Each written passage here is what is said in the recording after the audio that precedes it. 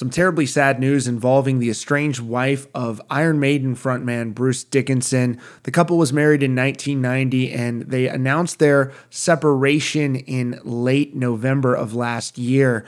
Uh, the report by The Sun, which has a statement from Dickinson, uh, says that his estranged wife Paddy was found deceased um, at the home that they once shared in Chiswick, West London. Uh, they called it a tragic accident. The ambulatory service uh, confirmed that she was pronounced DOA when they arrived.